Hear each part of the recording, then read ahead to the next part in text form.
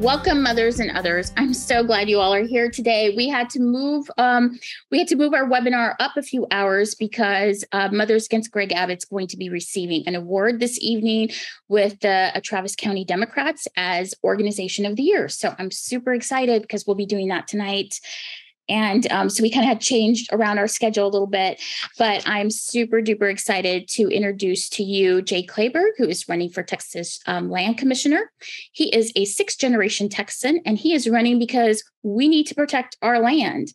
And we've had a lot of inaction going on in the Texas General Land Office. So Jay can really help us you know just get some get a better uh, vision for what we could do with Texas land as far as um, just land management, energy, education, veterans, and the list goes on and on. Because what you may not know is you may not know all of the things that the land office actually does. So we're going to educate you all about all of those things here today. So welcome, Jay. I'm so glad you're here with us. Can you start out by introducing yourself and telling us a little bit about what the role of the Texas General Land Commissioner does and how it affects Texans? Happy to do that. And first, thank you so much for having me here and congratulations. You, you really deserve that award um, I see your signs everywhere. I know that's not that's not everything, uh, but I see them all over the state of Texas, and I've seen your billboards up as well. And you're really just doing amazing work. And so I want to thank you for for everything that you've done. My name's Jay Kleberg, and I'm the Democratic nominee for Texas Land Commissioner. And the Land Commissioner is the oldest state agency. Uh, it's an independent constitutional office. Uh, it's the oldest in the state and it manages 13 million acres of public land and generates about a billion dollars a year right now, primarily from energy leases for the largest K 12 endowment in the country. And the land commissioner sits on the board of the Permanent School Fund and also uh, oversees the Veterans Land Board, which provides low interest loans to veterans to acquire land and homes and do home improvements and then oversees 10 veterans homes in the state of Texas. The newest one is in Fort Worth and four veteran cemeteries.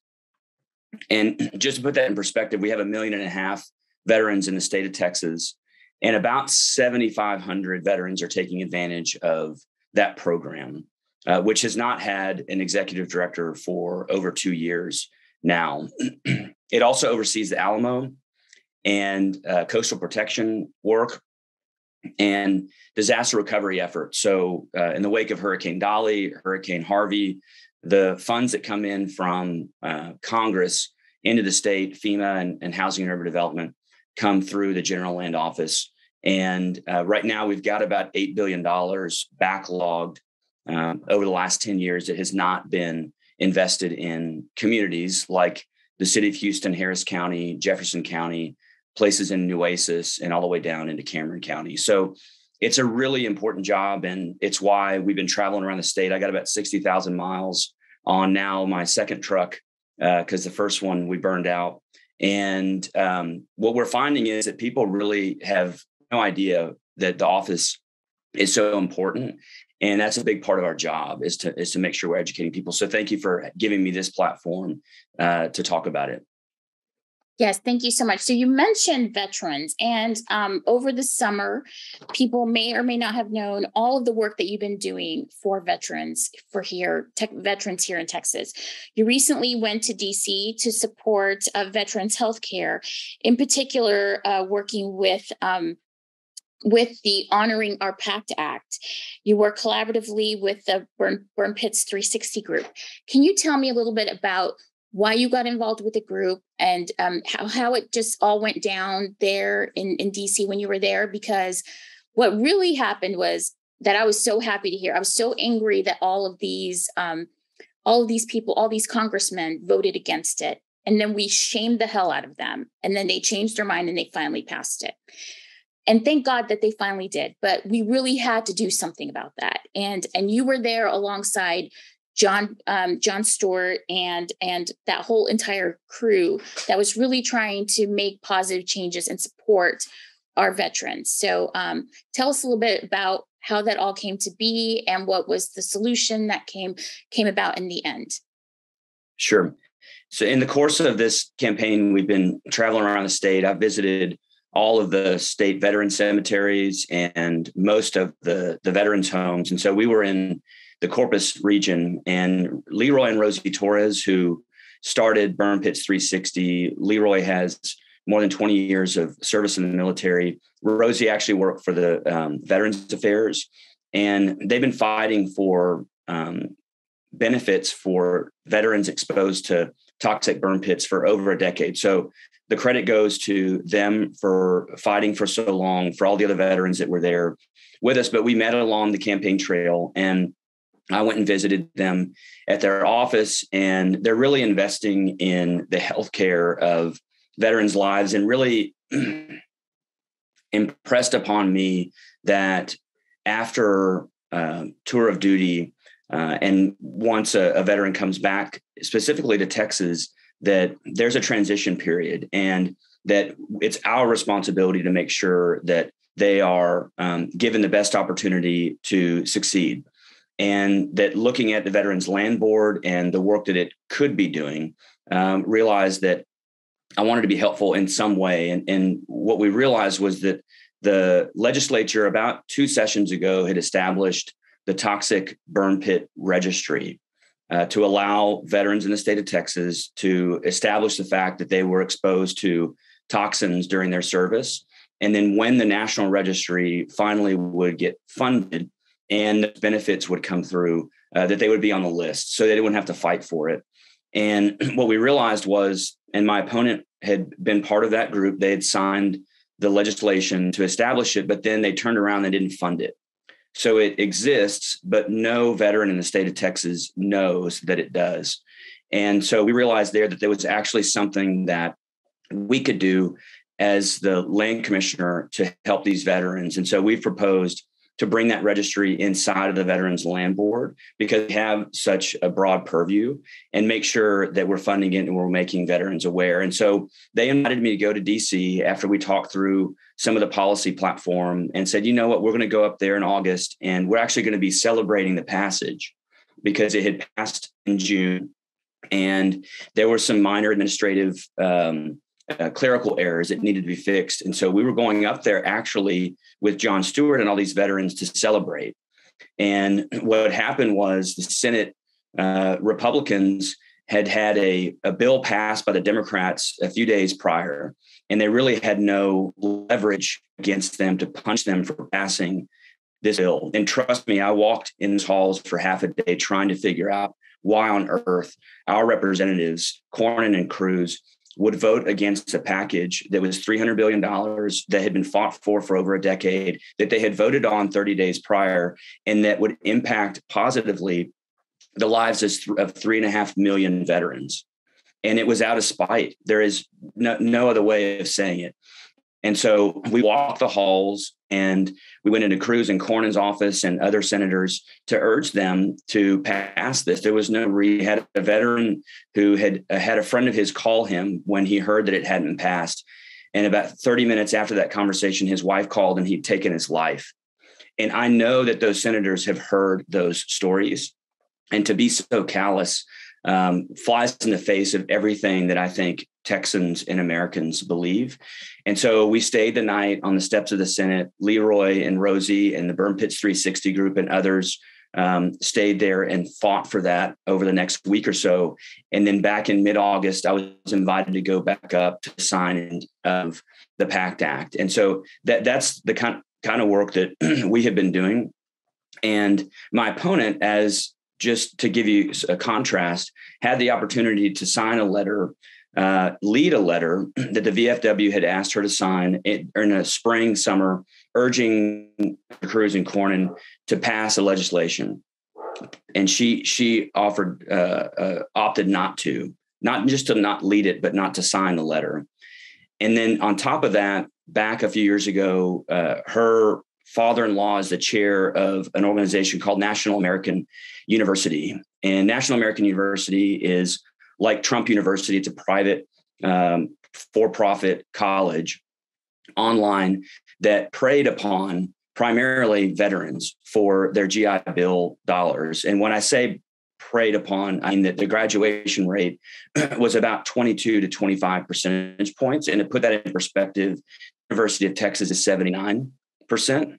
And the debt load of those veterans was in the in the ballpark of about $35,000 after they went through the program. At UT, it's about 22,000. And so her husband, who is her treasurer, is still um, on the board of National American University now, several years later. And the funding that she got, uh, um, more than 75, 80% of the funding that she got when she ran for Senate the first time, came from those who were either directly associated with that organization or from fees that she got for either serving on the board or just being associated with it. And so to me, I've tried not to be at all negative during this campaign, but but that is an affront to everything that I believe we care about as Texans and the kind of service uh, that we should be providing to to veterans. Yeah, a- amen. I had no idea that that that was her position. That was some where she was getting some of her money. That that's very surprising to me. It seems to be incredibly unethical you know, in so many ways for her to do that. Um, so uh, we're let's talk about Dawn Buckingham because we we really do need to talk about her. Um, she she states in her campaign that you will use public school funding as a piggy bank for your leftist green energy dreams, which is so ridiculous. I just want to laugh. It's so ridiculous.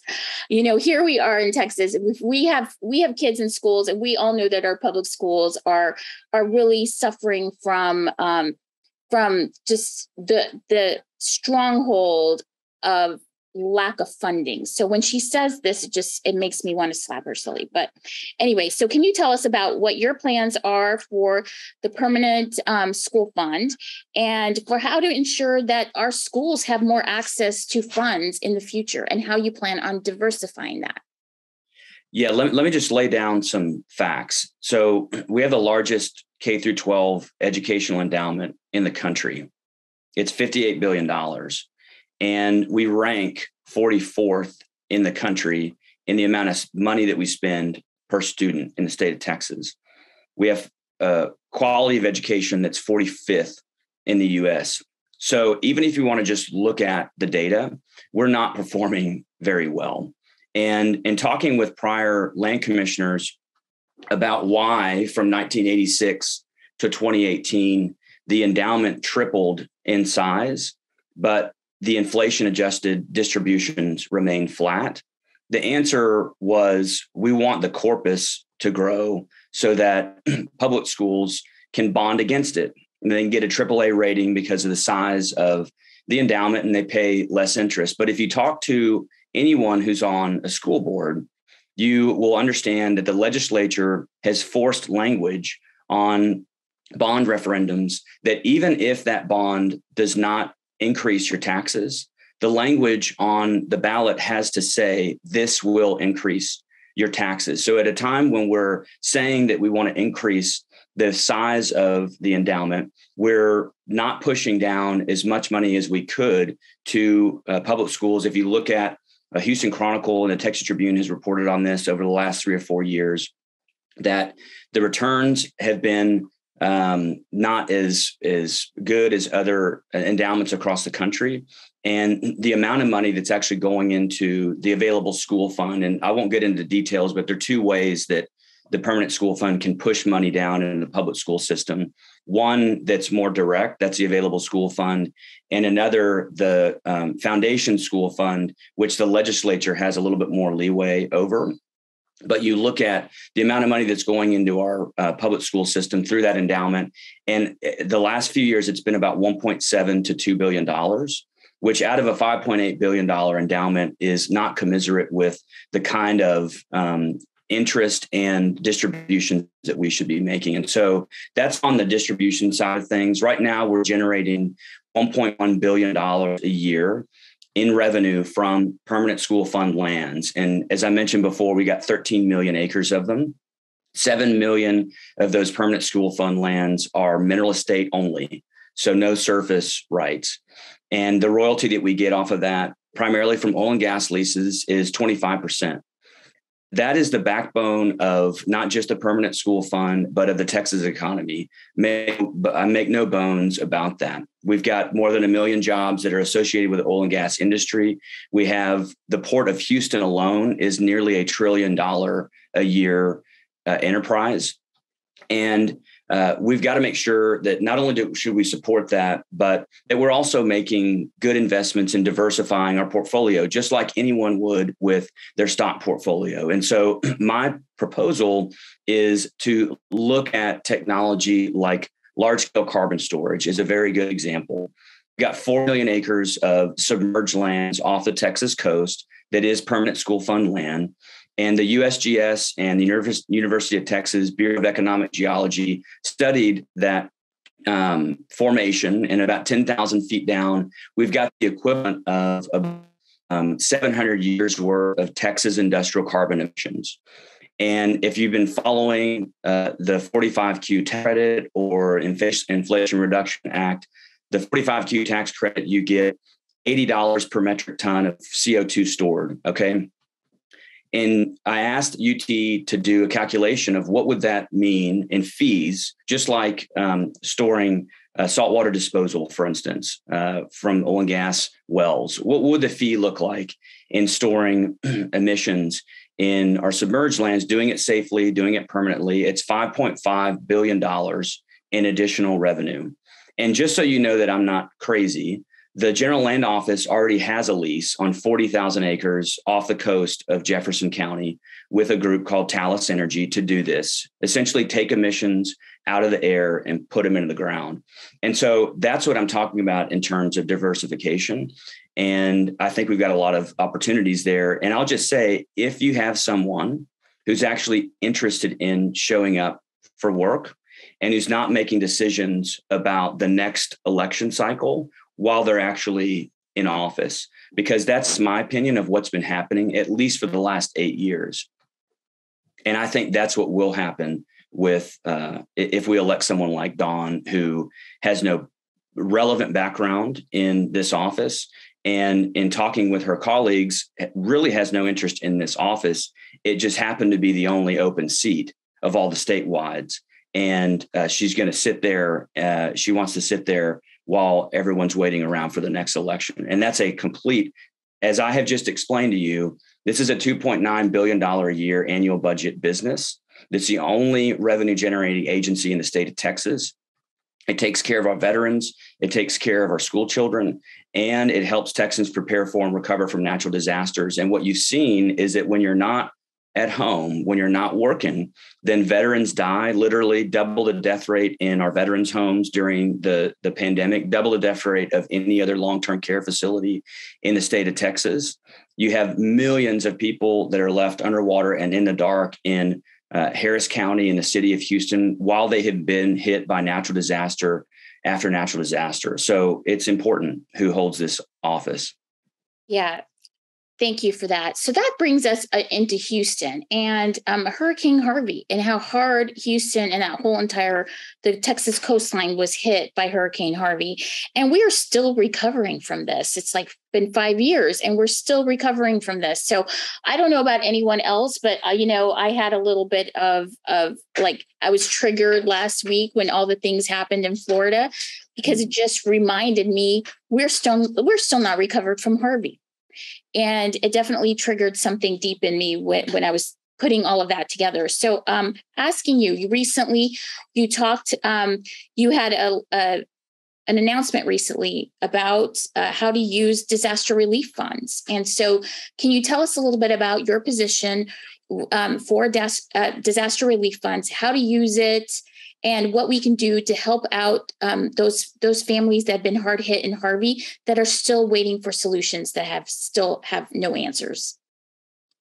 Yeah, we were down in Cameron County with a commissioner and a representative there talking about disaster recovery, which might seem unusual for Texans because we've been so focused on Harris County and Jefferson County and Aransas that got hit with Harvey. But you've had uh, disastrous floods in the valley uh, in the last three or four years. You did have uh, damages from Hurricane Dolly, which was more than 10 years ago. And there's still uh, several hundred million dollars that have not been allocated down in Cameron County to help Texans recover from and then prepare for the next disaster. Essentially, what we're doing is we're just waiting for the next disaster to happen or not prepared for. And so we rolled out a full uh, policy on how we plan for these natural disasters. If you look at even the General Land Office, they rate uh, counties for um, how at risk they are for the next hurricane or the next flood. And so we know where it's going to happen. We can model uh, what it would look like if a category four, for instance, hit Galveston again or hit Harris County, what it would do in terms of, of storm surge and to those communities. Uh, essentially, what we're dealing with in the future is either too much or too little water in the state of Texas. That is the challenge that that we face, and we rank number one in billion dollar natural disasters. So we have something to say about how we prepare. So pre recovery is a part of my platform, making sure that we're actually planning before the disaster hits. So how how are we going to use that money? How are we going to use FEMA? How will we use HUD dollars? And then forming a bottom advisory council is consistent of community members and community leaders and organizations that essentially right now are serving HEB and churches uh, in the state of Texas uh, and, and community organizations uh, and disaster recovery nonprofits are our disaster recovery right now. Uh, we, we don't really have a functioning, well oiled uh, machine in our disaster recovery, especially on the long term side of things. And so we want to make sure that really within the first 90 days, we've got a plan to get what is uh, about $8 billion in backlog funding at down into communities. And I'll just give you one last example of how that should work. So, after Hurricane Harvey, General Land Office puts forth about 20 coastal counties that, that say uh, initially that's where the fund the funds for uh, mitigation about $4 billion should should go. Those are the counties that should compete.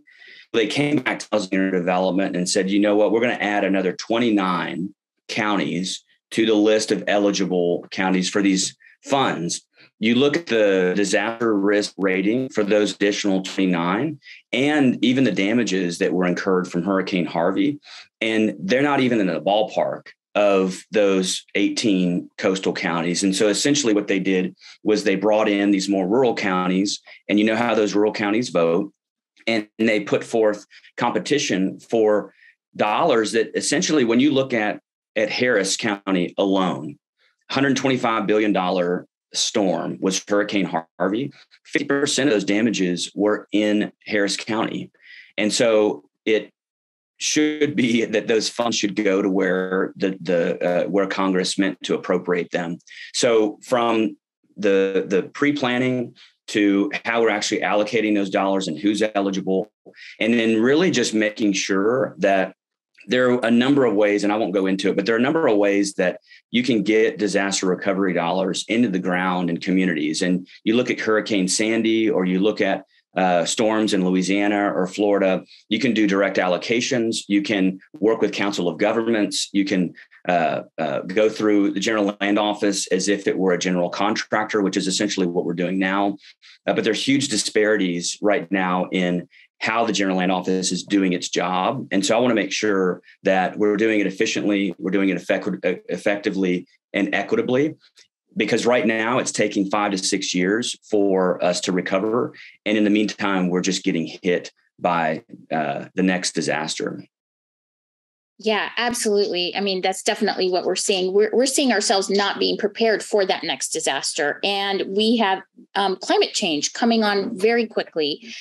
Um, so let's go right ahead and let's uh, let's talk a little bit about climate change. Um, okay, how do we prepare ourselves for climate change? And I would also like to touch on water. I mean, water is such a huge issue right now for Texas. And the one issue, like this whole entire summer, while Greg Abbott has been talking about border issue, border issue, border issue, What you have not been hearing about is the fact that two counties in Texas are almost out of water. We had Hidalgo and Cameron, they're running very, very low in water. We have a lot of water tables that have currently have had um, some some fracking issues. Uh, be we know that have leaked some pollutants into the water tables there. We have a lot of water issues in Texas, and this is going to be a much, much bigger issue moving forward in the Texas future. So, wanted to get your feedback on that and climate change and how this is all tied together. Yeah, on the on the climate change side of things, you know, one very specific example is we pour about $100 million a year into fortifying the coastline. That's dune replenishment. It's making sure that our, our coastline is not eroding um, at, at a, a, rapid rate. And if you look at the science that is uh, in those plans, or if you look at something like uh, what was called the Texas Coastal Plan and has been renamed the Coastal Spine, that's a $30 billion investment in the Texas coast over the next 20 years. If you look at the science, it is not based on what we're seeing in the last 10 years or what we are going to see over the next 20 years. It gets up to, for example, just shy of what we uh, are already seeing a category two storm, for instance, and just at 15 foot storm surge. That is what the plans for the coastal spine and the dike system that will be created or developed there in the Galveston Bay area. That's what it calls for. Hurricane Harvey was a category four. And we know that we're going to see more than um, one hurricane at a time. And we're also going to see more than 15 foot storm surge. The science is there, and the modeling out of our own Texas universities shows that. So essentially, what we're doing, even if you want to make a conservative, a fiscally conservative argument out of this, is that we are investing money in infrastructure that will be obsolete on arrival.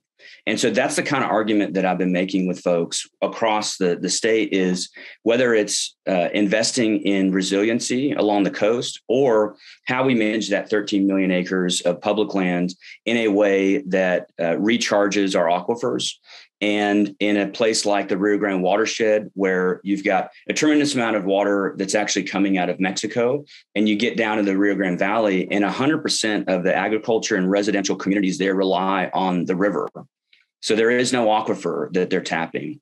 And so, how can the General Land Office, in being a steward of land upriver, primarily in the, the Big Bend region, how can we manage those lands in a way that's good for the watershed? How we manage our oil and gas resources, our energy resources, and making sure that to the degree that we possibly can, we're recycling and reusing produced water so that we're not bringing fresh water in to uh, produce energy essentially in the state of Texas. University lands, uh, which is the permanent university fund uh, uh revenue generator, they are doing things like that. They're in, uh, incentivizing uh, producers to make sure that they're operating responsibly and capping venting and flaring and utilizing uh, that for uh, for energy resources and making sure that the funds from that are, are going to the permanent school fund. So there's a lot on that that we could be doing, and even on the outer edges of desal. So the General Land Office in the Natural Resources Code has the ability to be a partner in desalination. And I know that it's expensive. I know that there are environmental concerns with desal, especially in the, in the port Port of Corpus and Corpus Christi area in terms of where does that discharge go. I know all of that. But we have to have an all of the above approach to these things. And we have to be clear eyed about the kind of, of weather that we have seen or are going to see. And it's imperative to me that we're making science based decisions. And to me, that is how Texas agriculture has operated for 200 years. We, we make informed decisions about the weather and weather patterns and when to plant and, and how much water we have available to us. And so, why this should be any different, it has just been politicized. Um, and so, I want to depoliticize it and say, look, this is all just practical, and we should be investing in uh, resiliency in the state of Texas because it impacts not just rural parts of the state, um, but it impacts certainly urban areas where more than 80% of people are living right now.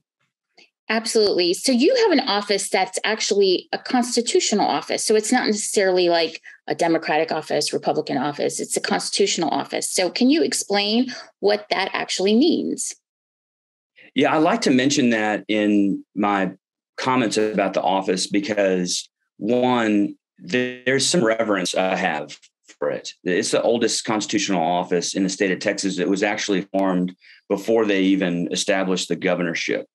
And so to be using it as a political stepping stone, I think is is really a disservice to not just office but to Texans. And and second, it's independent of the legislature. And I like to say this because you know people think, well, you know, if you're operating in an environment that is um, toxic, and you happen to be a Democrat holding a statewide office, uh, hopefully one of many, uh, but you're still in a situation where you're going to have to work across the aisle.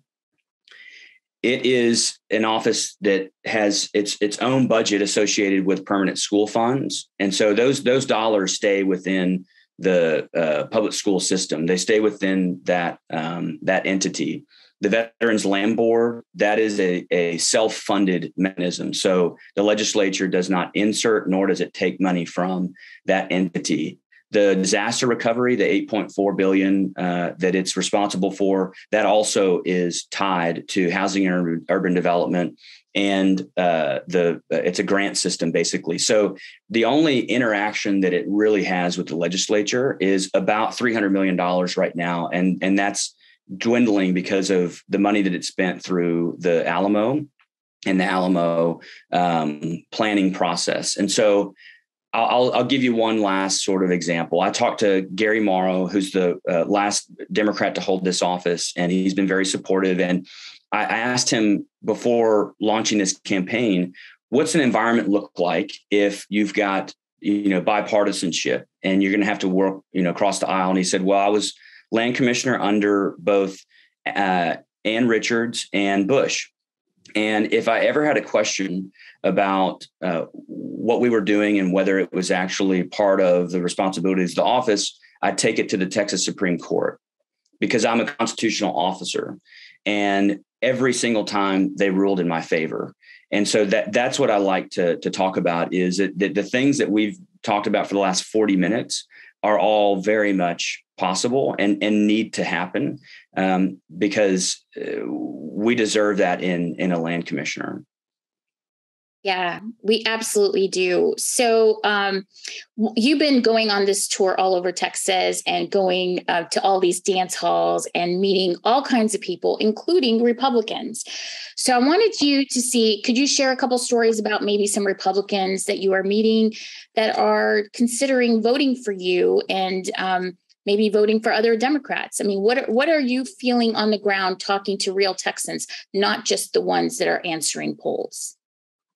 Yeah, so we've been on a, a tour of Texas. We've got about 60,000 miles now on the road. And one of the things that we launched a few months ago was a, a, a dance hall tour.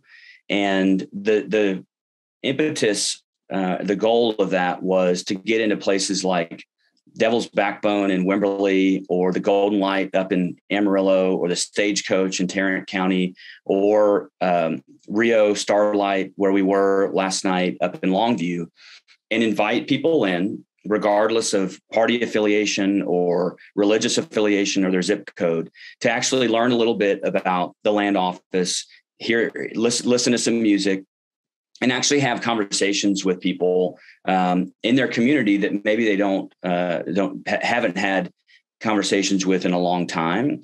And I'll just give you an example of Amarillo. We were there in the Golden Light, and there were 150 or so people in um, in that establishment.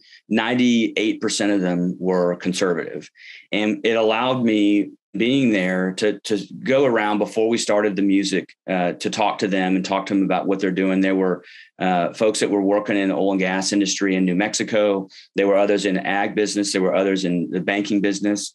And I'll give you an example. There was a group of of uh, men and women who were I know Republicans sitting down at a table uh, that worked for a bank there, and they were cordial. And I introduced myself, and we talked for a little bit, but I could tell they're a little standoffish. Well, the president of the bank comes in, who's a Republican, who I know, and he greets me. And they all kind of, you know, turn their heads and are surprised that I know this guy. And it really did sort of drop their guard. And we ended up, eh, you know, having a beer or two and talking about the, the responsibilities of this off, which one, again, they, they don't know that it exists but they're also not socially charged things, which those are all very important issues. Um, but I can talk about land, we can talk about water, we can talk about veterans and things that you know public schools which in these rural parts of Texas they are seeing defunded.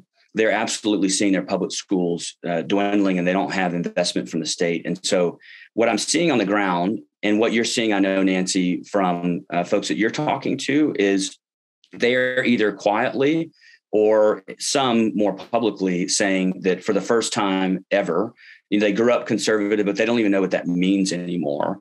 Um, and that after 20 years plus of um, of administration by a party that does not have their best interests at heart, that that now they are seeing that there are alternatives, and uh, and so we've seen it all over the state that. Um, I, I really do think that this is a it's a pivotal moment in Texas history, and we're we're we're out doing the work. That's the other thing I will tell you is you look at all of the candidates on the Democratic side, we are having to work for people's support, and on the other side, they really aren't. You could see it in that debate, and uh, they just are sort of phoning it in, and I think that that's going to come back to to hurt them. Yeah as as i've been telling everyone when when when they're on twitter and they're saying but we're ahead in the polls where this i just say agree with them. Just let them think that they're ahead because then they won't see us coming because we're doing the work. We're we're showing up we're doing the work we're trying to get out the vote. We all just have to not pay attention to polls focus on doing the work. That is the most important thing right now so let's talk a little bit about rural texans um, one of the things that concerns me is that I I grew up on a farm. I grew up on a ranch um, out in New Mexico, not necessarily Texas, but the feeling's the same. When you have there's so much pride in go- owning land and there's so much pride in owning a ranch. And what we're seeing now is that a lot of these folks, their children, it doesn't uh, they don't go back and they work in the land because one, there might not be enough jobs. Two, climate change is starting to affect um, how much profit they're able to make on their land. We're starting to see what used to be thriving farmland turn into ghost towns, essentially, um, in some areas of Texas. So let's have a little bit of talk about what is happening right now in certain parts of rural Texas and what we can do to support our fellow rural, rural Texans. Yeah, you're seeing in the data a couple hundred thousand acres of working lands lost in Texas. And you know, you look at the the economics and to to farm maybe depending on where you are net uh, profit hundred dollars an acre. When in some in some areas, depending on your proximity to an urban area, you can get $600 an acre for solar installation. And so the the economics of ensuring that we can continue to be what I think we have to be in the future if you look at what's happened with Ukraine and the grain crisis there and how that pushed up prices is that we have to be food, fiber, water and energy independent. Texas needs to be. And we have 174 million acres to prove it. We're the number one energy producer in the world. We're number one in wind. We're number two in solar. And we have, you know, one in five, I believe, is the number jobs are associated with agriculture in the state of Texas. About 80% of water use in the state of Texas is agriculture. And so we have all these complex problems that we've got to address. And one very concrete example of what I think this office should be doing is we have what was uh, originated at the General Land Office called the Farm and Ranch Lands Conservation Program.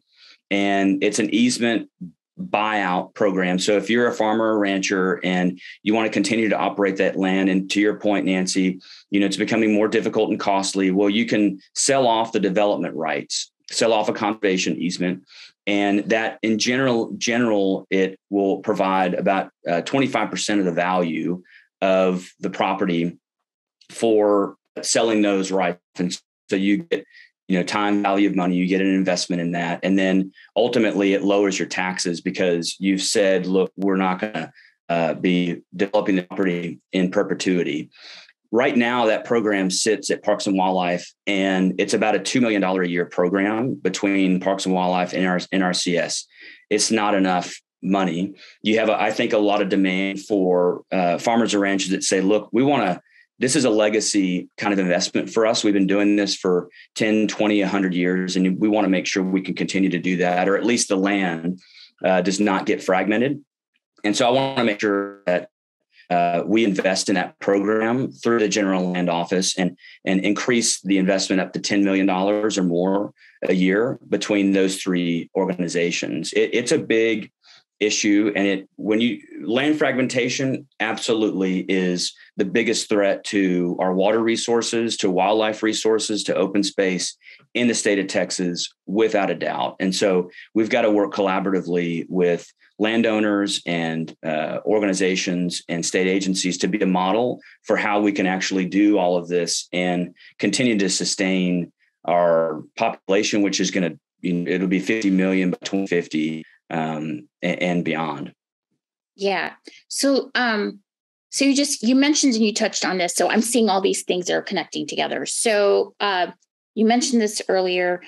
Oil and gas. Let's talk about oil and gas. We haven't really talked that much about it. Um, we need to have a land commissioner that has a true vision for Texas as far as oil and gas and our relationship to these oil and gas companies because they do lease Texas lands and from those Texas lands is where we get money for our permanent school fund. And yep. now, like uh, one of the last times that we talked and we did a webinar, um, not I don't know how many people here know this, but um, right now, I think you said it was just a couple of solar companies um, also are their funds go into the permanent school fund, and maybe just a couple wind companies. So you had this vision about adding on more solar and wind so we can actually start increasing the permanent school fund so we can even be able to further invest into education in Texas. So, could you talk to us a little bit about that? Yeah. So if th- this data comes out of a, a, policy group out of Dallas called Texas 2036, and they did a study um, that looked at public education funding. So not just K through 12, but in the entirety of our public school budget in the state of Texas. And they tied uh, 20% of that revenue to the oil and gas industry. So whether that's leases on uh, permanent school fund lands or permanent university fund lands, or that's the fuel tax, in some way it's it's about 20%. And they looked out to 2036 and they projected a potential if this doesn't happen great. But if it does, we could see a 30% decline in revenue from that 20% that funds our public education. And so, what I looked at with the general land office is okay, how much of the $1.1 billion is oil and gas, traditional oil and gas, and how much have we actually diversified that? And it doesn't have to necessarily be wind and solar. It could be geothermal, for instance. It could be um, uh, kinetic wave uh, energy. It could be what I talked about in terms of large scale carbon storage. It could be soil carbon sequestration. What are all the options, right? Right now, we have one wind and one solar lease on 13 million acres that's generating total annual about $360,000 a year out of a $1.1 billion that we're generating.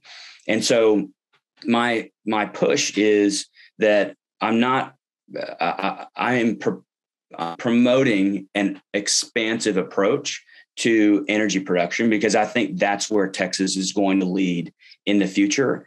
Every form of energy. There is no other state that has the infrastructure that we have, both the built infrastructure and also the employment infrastructure. People actually know how to generate energy. And we just happen to have 174 million acres of land. Plus, we've got uh, uh, state-owned lands that go out 10 miles into the Gulf of Mexico, which is no no other state has that much acreage. And so there are all these opportunities. And Nancy, that's what we talked about last time is just being practical about this. And we've got to diversify. And it's not one or the other. It really is an all of the above approach. Yeah, absolutely. It it is. We have to diversify and we have to have a better vision for what we could have. Mm-hmm. Versus having no vision at all, which is where we're at right now. Um, one part of Texas, um, what Texas lands that we haven't talked about is Texas wildlife. So mm-hmm. Texas wildlife is being impacted in all kinds of ways, from climate change all um, all the way to a lot of disasters that are happening here. Um, and then you just actually you were a producer of Deep in the Heart Texas, which is the first Texas nature documentary. So, what could you tell us about what we need to be doing for Texas wildlife right now and into the future? Sure. Land, land fragmentation is definitely the number one issue. Uh, water resources, every everything is connected, and so you think about humans and what we're dealing with in terms of the Ogallala aquifer potentially having only you know 30 years left of uh, productive water. You look at the fact that 80% of the state it has an aquifer underneath it. Um, how do we tap into what is a 300 million year old sea in the Permian Basin, uh, where there are minerals, where there is water, and how do we look at the potential to produce water out of the Permian, for instance, for agriculture, where maybe we shift some of the, the burden on aquifers away and towards um, produced water? And what kind of incentives do we put in place that are really market driven just like the farm and ranch lands conservation program that i talked about? You look at the investments that we're making in the coast, we have the second highest passage rate of migratory birds in the world on our Texas coast. So you've got two migratory flyways that come through the Laguna Madre and along the Texas coast.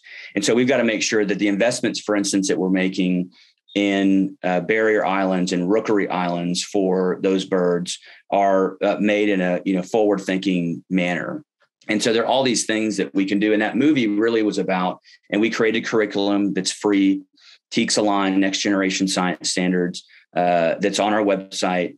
And the idea there was we've got to create a new generation of Texans that are thinking about all of these issues because a lot of them are living in in cities. And so they got to think about where does their water come from? And when when a drop of rain falls in the Davis Mountains, or in Marathon or in the Piney Woods, where does that ultimately go? And how does that impact wildlife along the way? And what can we be doing uh, with it in terms of how we're building out water infrastructure like reservoirs? Uh, do we need more above ground reservoirs or, or can we actually store that water underground uh, when it's plentiful? Um, so there are all of these things that are interconnected. And when you look at the General Land Office, you look at university lands, you look at the Texas Water Development Board, uh, you look at TCEQ and all of these uh, nonprofit conservation organizations. There's there's just a lot that we could all be talking about that we care about and that we agree on, and we know that we've got some problems to face. And I think that this office could be a real platform to talk about those things in a very practical way. And I just happen to come from a family that's been ranching uh, for 200 years, nearly 200 years. So I kind of know a little bit of what I'm talking about and thinking about these decisions, not just in election cycles, but in generational terms. And, and that's what I think we need. Um, and it's, it's, to me, it's not just in, important we don't have an option. Like we have to address these challenges. And um, that I do think that we're at a time where we've got to come together on some of these things. I think, yeah, it's pivotal right now. I mean, the time is now to do something on climate change. So it's it's never been more important. That's why everything feels like it's on the table in this election. Um, are there any other issues that we haven't talked about that the that the land office faces? I mean we definitely talked about a lot of things but i want to make sure we get to everything that is important to you that is there anything we should be touching on? You know i think just as a kind of to to sum things up you know when people ask about this office it manages your public lands. It provides critical support to public schools and veterans, and it helps Texans prepare for and recover from natural disasters. And I've talked a lot about different topics, but the, the top two priorities are our veterans and disaster recovery and education. The, the, those three things are, uh, in, it's imperative that we invest in those and that we actually turn them around. I mean, the Veterans Land Board, I think I mentioned, has not had an executive director for two years. And so that's a that's a, a, a fix right immediately. We've got all these disaster recovery dollar, recovery dollars that, that, I've got a very clear plan and we've talked to a lot of experts. We know how to do this. And if Texas can do it, we can actually lead the way in a lot of these areas in the low emission future, how we prepare for uh, natural disasters and how we take care of our veterans. We're doing a lot of of good things, but we could be doing them um, in in a, in a way that's a model for the rest of the world.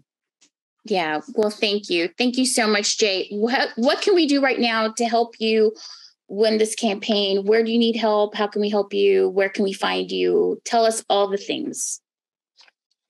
Yeah, I think uh, you know we're at a stage right now where we're going to start, as you are, um, putting out paid communications. You know, that's that's a way that you can really scale your message, and so um, fundraising is is something that we're you know honed in on. Uh, you can go to our website and also find out where we're going to be. So we'll be in El Paso and Houston this week. You can put your information into the website if you want to do um, any kind of volunteering. We've partnered with Blue Action Dems, and so we're we're pushing a lot of our um, relational organizing to to them. Uh, we've got signs uh, on our website. We've got a lot of ways to interact with with the campaign. Honestly, what I would say is we're at a point now where in the next couple of weeks I will be making a plan for who you are going to contact, who you're going to text and call and make sure that 10 people 10 of your friends are are voting. And i think that that's really critical.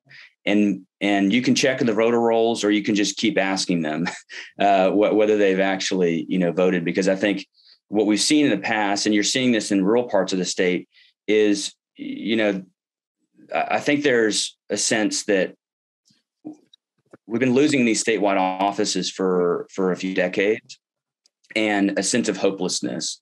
But I do see that if we margin slightly in all of these areas, it's not a lot. It's several hundred thousand votes that you all of a sudden win these races in a way that you can't gerrymander the state.